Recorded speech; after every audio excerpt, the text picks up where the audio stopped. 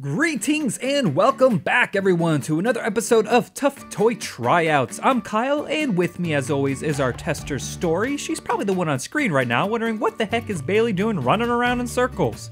If you're new here, be sure to hit that subscribe button for us and set up alerts so you're always up to date with the happenings on the channel. This week, we're going back to our roots, testing another softer chew toy like we did in our first ever episode where we cover Tuffy's Ultimate Bone. However, this time we're testing Kong's version called the Ballistic Cookie. And let me tell you, this is one tough cookie indeed. Its felt exterior encases multiple layers of ballistic nylon originally designed for bulletproof vests, and multiple squeakers that are all wrapped in their own nylon pouches.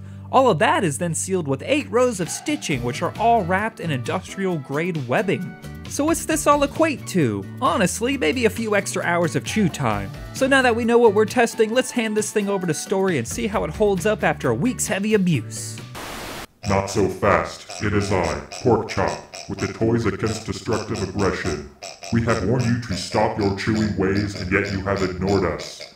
This will not go unpunished, as you shall soon see. As I speak, a weaponized version of the exact toy you've marked for death is heading toward your nation's capital where it shall destroy your beloved White House. We'll see if your president can turn even more orange. Ha ha ha ha ha! If you continue destroying toys, the next target won't receive cheers from half the country. Tada is watching. I am watching.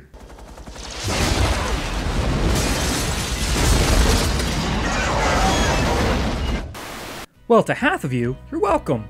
Anywho, here's the ballistic cookie, but this wasn't after a week. This destruction happened in less than 3 hours on the first day. We took a risk trying a soft toy again, and it appears Story has developed a surefire way to ignore all of the bulletproof materials. So let's break this down. Even more, I mean. For safety, the toy receives a 2. This toy is definitely not for aggressive chewers, and there's pieces that can be swallowed, including all the threading. I do, however, like the fact that these squeakers are in their own pouches, making it harder to accidentally swallow.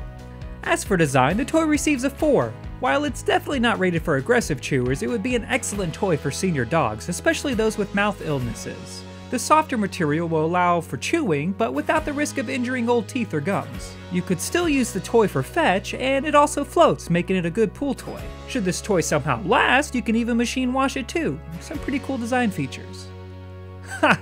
Well, I think you know what this toy gets on longevity. The Ballistic Cookie receives a 1 since it didn't last out the day. We've had a few of these types of toys, all from Tuffy, and the first one took a few days to destroy. The issue is, once your dog learns how to properly dismantle the toy, it's gone pretty quickly as the evidence suggests. That leaves us with a price, which in our instance receives a 1. Kong's Ballistic Cookie sells for $9.43 on Chewy.com, which, for a toy that only lasts a few hours, is simply too much money. If you're getting this for an older dog or one that isn't an aggressive chewer, you could probably get your money's worth. So the final verdict is a 2 out of 5 bones. It's simply not a chew toy for aggressive chewers, if I haven't made that point clear yet. It's not to say it's a bad toy by any means, however. The construction is well done, and it really got Story excited.